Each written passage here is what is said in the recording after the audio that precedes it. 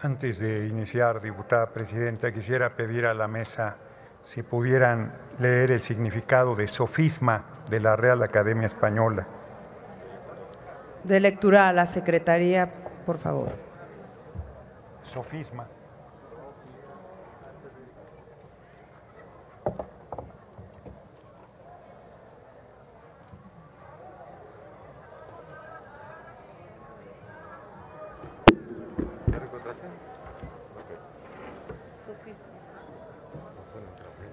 Sofisma. Razón o argumento falso con apariencia de verdad. Muchísimas gracias. eh, Muchas gracias, Gracias, diputada diputada secretaria. Adelante, diputado Gracias, diputada presidenta. Inicio. Efectivamente, Acción Nacional viene a usar un sofisma para cerrarle el camino a seres humanos que puedan encabezar la CONAPRED y justo con un argumento discriminatorio. ¿Cuál es el requisito académico que tienen las diputadas y diputados paniaguados o cualquier legislador, representante de la nación, para estar en esta soberanía, que es la más alta dignidad que puede tener el pueblo de México? ¿Cuál es el requisito? Ninguno. Académico, ninguno.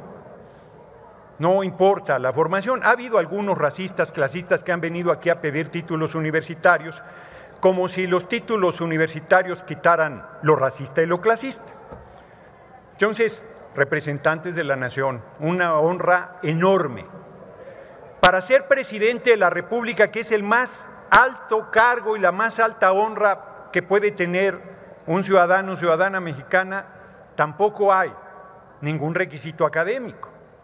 Se entiende que para determinadas perfiles sea necesario cierta preparación, pero para CONAPRED pedir que haya un título universitario no solo es un rasgo discriminatorio, sino es, es un franco abuso. Yo me acuerdo cuando fui diputado en la sexagésima primera legislatura, mi última intervención se discutía el darle seguridad social a las parejas del mismo sexo. Y oí a los paniaguados en tribuna decir que eso impactaba en el presupuesto del Seguro Social. Y yo les decía, a ver, explíquenme esto, si una pareja heterosexual se casa no impacta el presupuesto, pero si es de la diversidad, sí impacta. No sean hipócritas, les dije, suéltense el pelo, reconozcan quienes son de diferente orientación sexual y yo voy a defenderlos y hacer que nadie los discrimine ni los persiga por su orientación sexual. De igual manera, yo les digo hoy que para el año 3050 que puedan volver a gobernar, puede ser que alguien de su movimiento no tenga un título universitario y Permítame, diputado Noroña.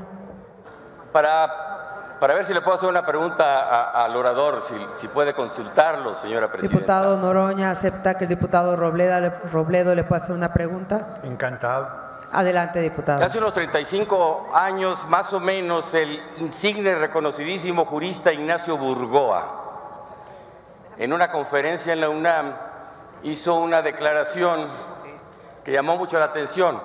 Él proponía una reforma a la Constitución para que los diputados, las diputadas tuvieran un título universitario. ¿Qué opina, señor orador?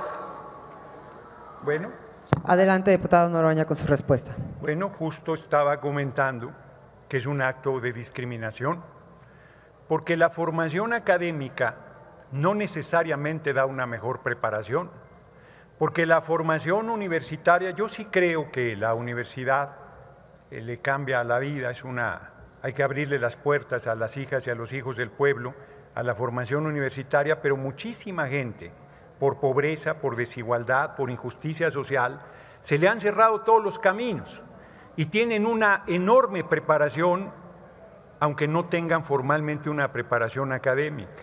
Se discrimina aquí, por ejemplo, a los autodidactas.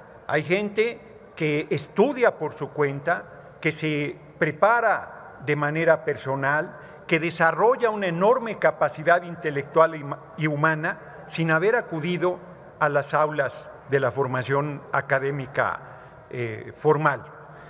Yo otra vez volvería a hablar de mi abuela materna, una indígena náhuatl que tenía tercero de primaria, María de la Luz Velázquez Villalobos, y era una mujer de una sabiduría, de un carácter y de un humanismo impresionante. Ella, si quisiera encabezar la GONAPRED, no podría hacerlo nunca, aunque tuviera toda la capacidad para hacerlo, porque según aquí la derecha, no cuenta con los títulos. Ahora los títulos universitarios se convierten en los títulos nobiliarios de antes. Ahora, en un país de iguales, resulta que un título académico te da una condición de superioridad cuando la Constitución plantea la igualdad de todas y de todos. Porque efectivamente, por más que la derecha le subleve y le revele, todas y todos somos iguales. Todas y todos valemos lo mismo. Nadie vale más por su orientación o menos por su orientación sexual, por su sexo. Todavía hay machinrines que piensan que valen más que las mujeres. Todavía hay ignorantes que piensan que valen más por su color de piel. Solo les falta venir a legislar que tengan que ser pálidos quienes encabecen las instituciones de la República, que tengan que ser machos calados, decían alguien por ahí, bueno, no sé. Eso cada quien sabrá. Que tengan que ser arios quienes puedan encabezar las responsabilidades de las instituciones públicas en la República.